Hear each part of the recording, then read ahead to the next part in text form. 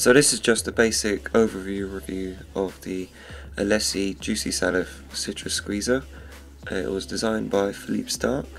As you can see it's made out of a single piece of aluminium.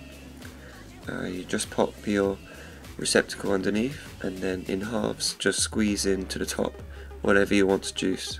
Uh, I find I get a lot of juice out of it. They retail for around £40 in the UK and $75 in America.